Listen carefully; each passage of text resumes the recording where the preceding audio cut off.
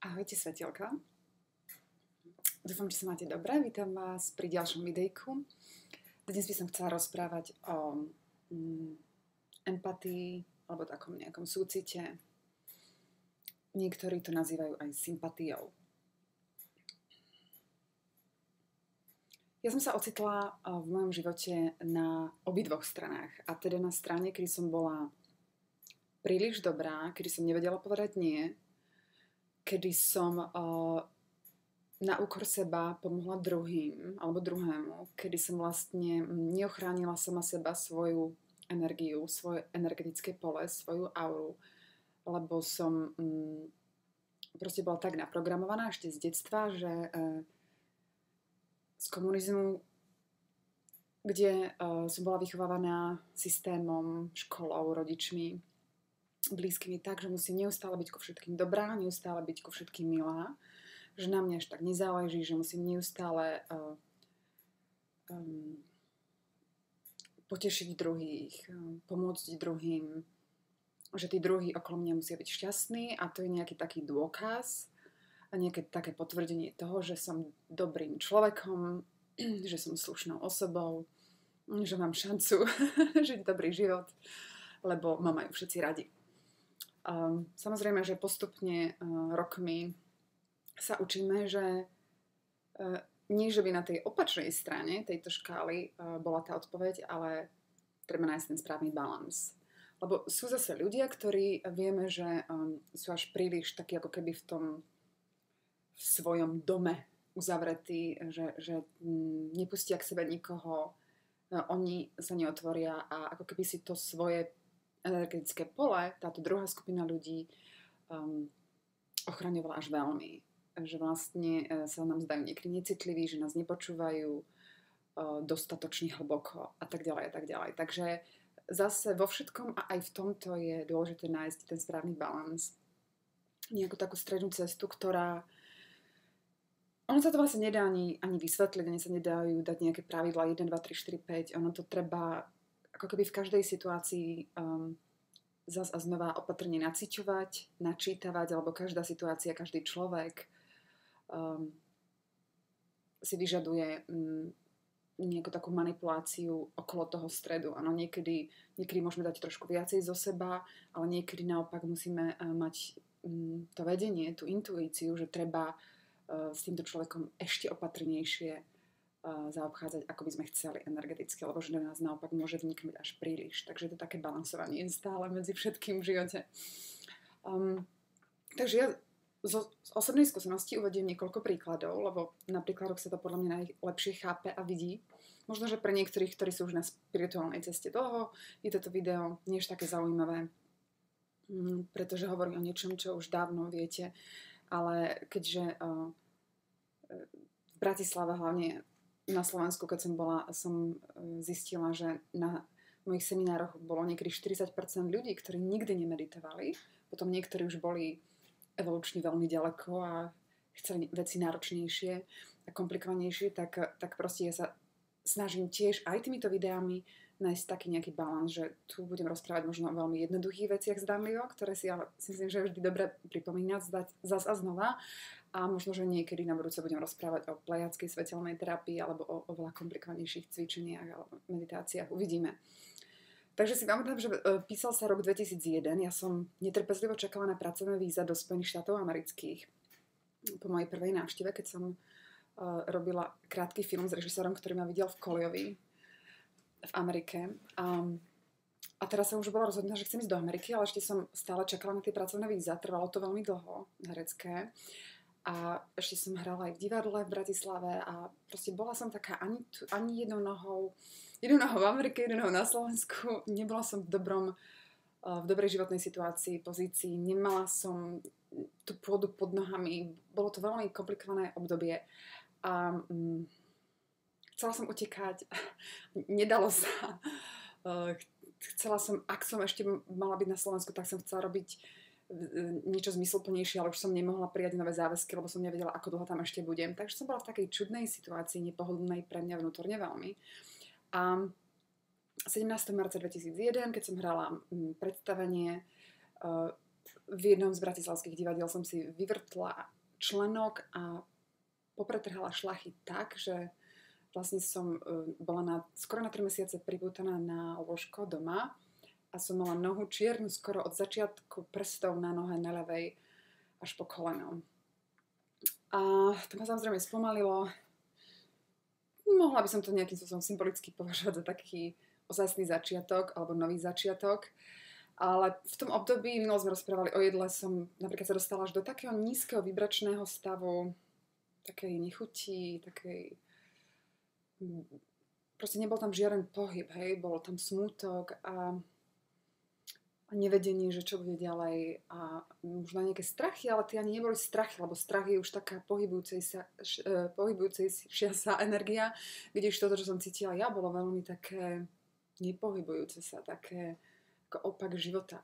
A v, v tej situácii, keď som bola, tak proste telo nechce ani jesť, nechce sa mu vôbec nič.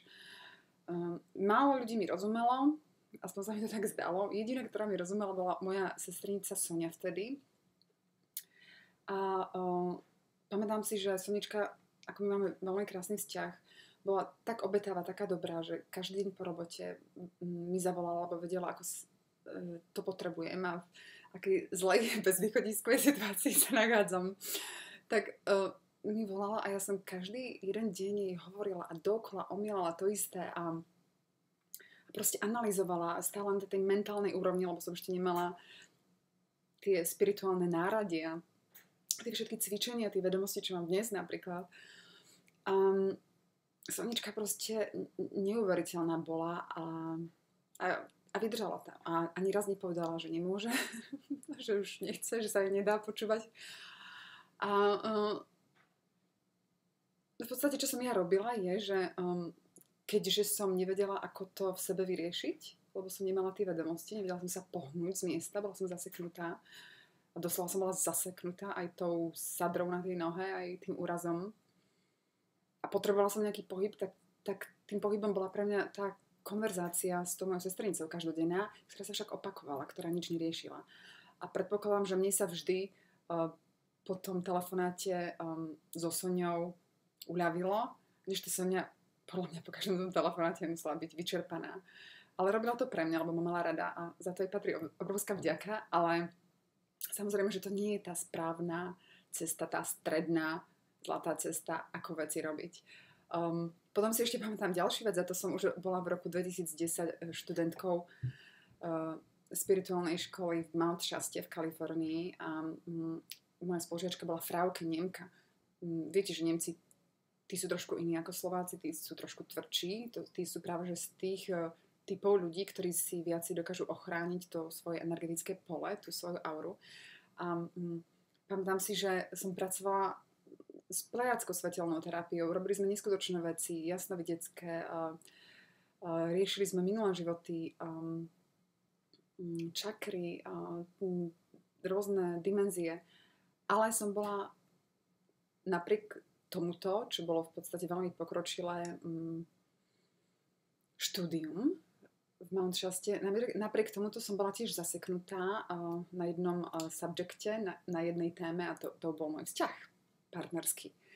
A uh, pamätám si, že uh, tejto frauke, lebo každý deň sme šoferovali do tejto školy z Mount Shasty, lebo Amora, naša učiteľka, bývala trošku ďalej, asi 40 minút vtedy od Mount tak sme tam museli každé ráno šoferovať, že tam a nazad. A ja v tom aute som aj možno po dobu takých 4 dní rozprávala uh, o tom mojom partnerovi a, a vrávala som jej, vieš, toto zase povedal a toto mi povedal a toto nepochopila, on ma nechápe a ja neviem, čo s tým robiť. A stále som jej to rozprávala vlastne každý deň, keďže my sme sa tiež s tým partnerom moc neposúvali. Každý deň som vlastne jej povedala iný príbeh, čo sa medzi mnou a môjim partnerom vtedy uh, udial. Iný príbeh, ale tá energia pod tým, ten náboj, tie emócie boli vlastne tie isté. Opakovala som to tiež. Ale som si to neuvedomovala. A Frauke, Frauke, táto Nemka mi na rozdiel od uh, mojej strničky Soničky v Bratislave, povedala si na štvrtý deň, keď sme šli z vyučovania, že ešte ja ťa už nechcem počúvať, Silvia. Ja som sa tak na ne pozrela a, ale a som bola v šoku, lebo mi to povedala tak, sa mi zdalo veľmi tvrdo vtedy, necitlivo. Ja som potrebovala počúvať a pohľadiť, poláskať. Také porozumenie ženské. Možno podelenie sa z jej názoru, že akí sú tí chlapi zlí. a ona ma takto mm, zakríkla.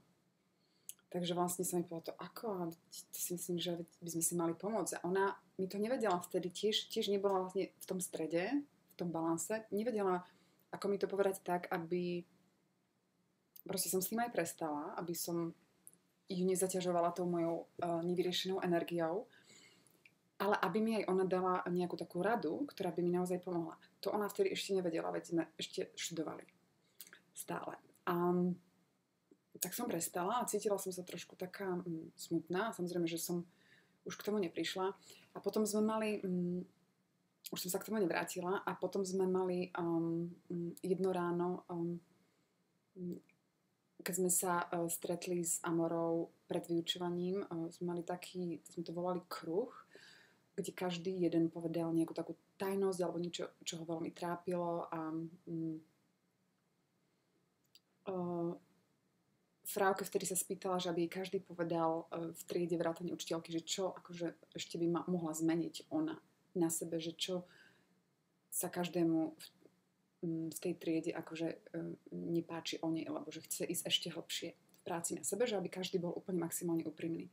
Tak sme tak v, v kruhu, sme vtedy boli asi piati, sme sa tak vyjadrovali a ja som povedala, že teda mne sa zdalo necitlivé, ako mi to vtedy v tom aute povedala.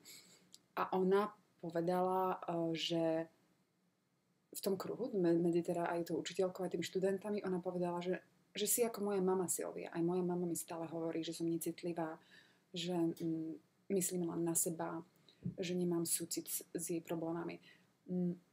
A vtedy Amora povedala, že, aj, že, že to je vlastne štádium, ktorým si proste niektorí ľudia prechádzajú, uh, ktorí sa chcú naučiť, kde je vlastne ten balans v tej komunikácii s tými ostatnými a v tom vymieňaní z tých energií a spájaní tých aur, keď k sebe prídeme, človek a človek. Um, a že ona tiež má taký problém, Amora. Ona naozaj taká bola, že mnohým sa zdala tvrdá. Bola, lebo ona už uh, nežije. Uh, zomrela v roku 2012.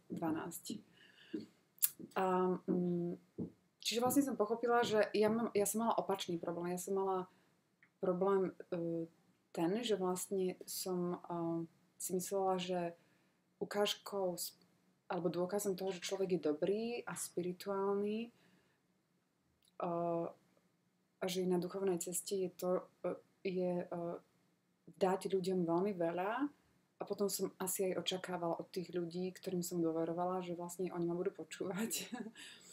a samozrejme, že tam, to, ne, to nebol balansový stav, to, to nebola tá harmónia. A, ale mm, som pochopila, že niektorí sú na úplne druhej strane, ako napríklad tá Frauka alebo Amora. Hej, že Amora som si myslela, že je taká tvrdá, lebo bola učiteľka, ale vlastne ona vravila, že ona tiež má s ľuďmi, mm, s ktorými príde do styku, takú skúsenosť, že jej hovoria, že je príliš tvrdá. Mm. A teraz poviem príklad ďalší, ktorý... Mala som kamarátka na, Slova- na Slovensku a ako sa zvykne, zvykne hovoriť o Slovákoch, že niekedy ohovárajú. a Amerika je úplne iná. Proste tu nás sa ľudia moc do ľudí nestarajú. A ja sama som sa niekedy, niekedy prichytila z začiatku, a, mm, že keď som mala s Američanmi, že Američania, oni tak čudne reagujú na to, keď im začnete hovoriť niečo o druhom človeku. A, a pristila som sa mm, na tom, že vlastne to, to som si priniesla zo Slovenska, z tej krajiny, že vlastne tak trošku rozprávať o druhých ľuďoch. My to nazývame ohováranie a nie je to nevyhnutne ohováranie, ale je to niekedy prílišná analýza druhých. Pretože e, my s tými druhými nič nespravíme. My naozaj jediné, čo môžeme urobiť, je pochopiť sa, analyzovať sa a nejakým spôsobom vyliečiť tú svoju dušu, tie svoje emócie. Takže to bola pre mňa jedna z tých vecí, čo sa v Amerike uh, začala uh, vlastne prinášať tú koncentráciu uh, ktorá u mňa bola niekedy e, smerom do vonku, smerom na mňa a snažiť sa vždy, keď bol nejaký problém alebo keď bol aj konflikt v nejakom vzťahu, aj kamarátskom, snažila som sa nájsť v sebe, čo, čo ja preto môžem robiť, ako sa ja môžem zmeniť. A častokrát potom tie vonkajšie veci sa zmenia automaticky. Ale to, na to treba nám veľa pochopení a prečistiť si veľa vrstiev a rôznych nástrojov spirituálnych. A o tom sa budeme asi rozprávať inokedy.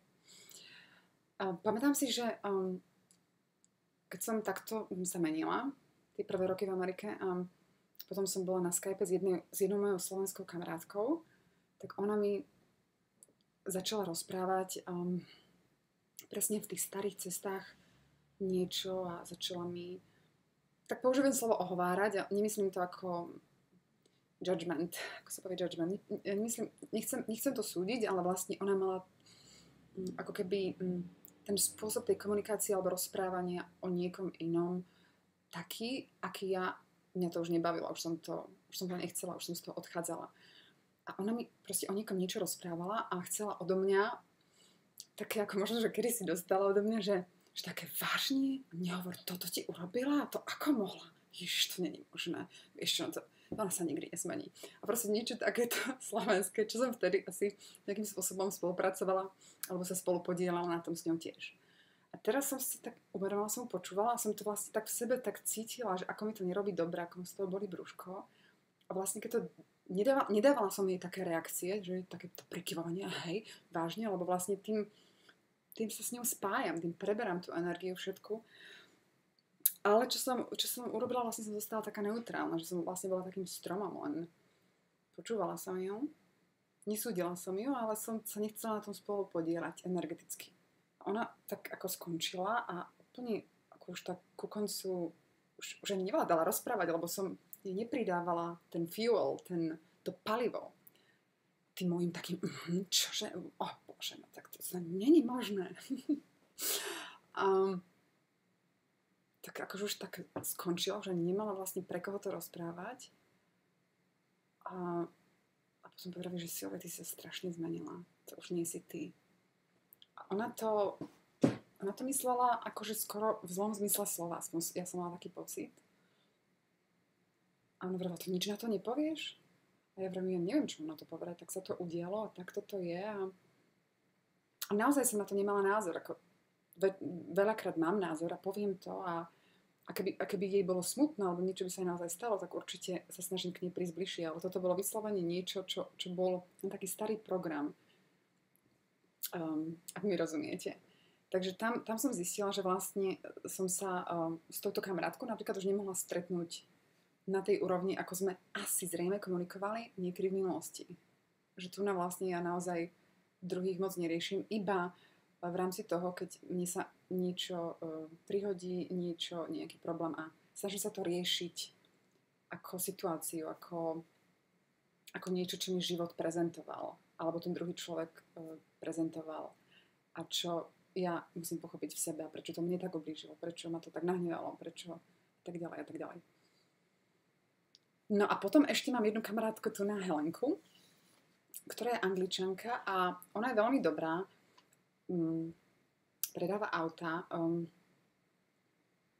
sme spolu kamarátky už asi 11 rokov, ale tiež má tendenciu takú, že vlastne ona je príliš dobrá, dovolí druhým ľuďom príliš veľa, všetky kamaráty k nej môžu byť, e, e, k nej môžu prísť, byť s ňou veľmi dlho. A potom um, ona sa tak pretlakuje, ako dá za seba príliš veľa a väčšinou ten život jej, manifestuje nejaký konflikt s tými ľuďmi, ku ktorým je ona príliš dobrá. A potom mi to volá všetko a potom mi to vysvetľuje a jednoducho 11 rokov sa dejú tie isté veci. A tiež som eventuálne, tiež som mu počúvala, ale už som sa po tých telefonátoch necítila dobre, ale, ale videla som, že ona s tým naozaj má problém, že ona potrebovala pomôcť. Hej? Že to nebolo len ohováranie, že ona naozaj bola emočne veľmi zainteresovaná a po istom čase som jej musela povedať, keď som ju raz nechala vyhovoriť, že nech to do seba, lebo tá počiatočná analýza podľa mňa je dôležitá. Nechala som ju vyhovoriť, vyhovoriť nechala som to, nech to zo seba dá, dá von, nech sa jej trošku uľaví a potom som jej povedala, keď som, keď som vykonala tú svoju robotu, ktorá ale už, už bola vyčerpávajúca v tom, že bola taká istá, že sa to nemenilo, že ona to nemenila.